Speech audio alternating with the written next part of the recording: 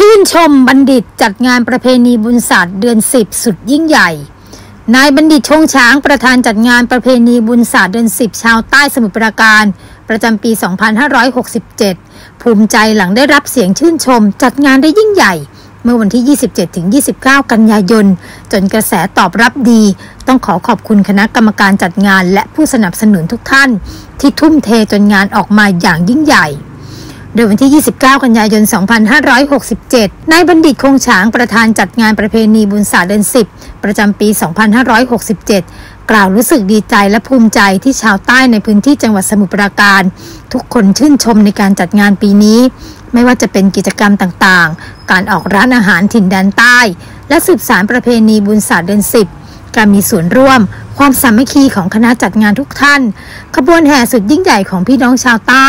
อย่างพี่น้องรถ chopper รถจี๊ปเงาะป่า ศิลปินชื่อดัง วงคนข้างถนนและวงกะละปังหา พิธีบวงสรวงไหว้หลวงปู่ทวด ไหว้เจ้าที่ ถวายภัตตาหารเพลแด่พระสงฆ์กราบไหว้องค์หลวงปู่ทวดองค์ใหญ่ ไหว้ไอ้ไข่ศิษย์หลวงปู่ทวด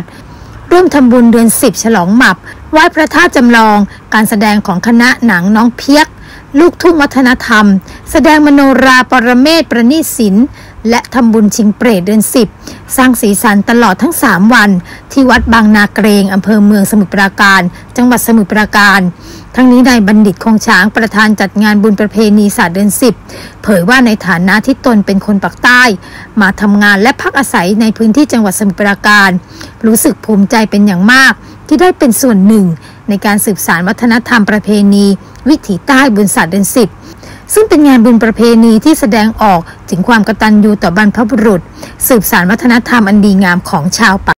ครับ สวัสดีครับผมบัณฑิตคงฉางนะครับ เป็นประธานจัดงานของวันงานสารทเดือนสิบของปี2567นี้นะครับ มีมีรถจี๊ปนะครับ ประมาณสิบคัน แล้วก็มี chopper อีกประมาณร้อยห้าสิบคันนะครับ ซึ่งตามโต๊ะได้มีเลยตามปีโต๊ะได้ปีเลย ได้มาแสดงกว่าการที่ว่ามารวมซื้อสร้างประเพณีเรากันมาร์กนะครับตามโต๊ะแต่ว่าถึงเชิญครับเชิญครับมีฝนตกนะครับ แต่ก็ยังมีทุกคนยังได้มาร่วมงานและนั่งตะลุงห้องน้องเปียกนะครับถือว่าเป็นเป็นการที่ว่าถือว่ามันสุดยอดจริงครับ ก็คือเป็นการซื้อต่อที่ว่าไม่ไม่ต้องกลัวหลงป่าพ้นเลยครับมาโดยใจล้วนๆนะครับกับขอบคุณมากนะครับ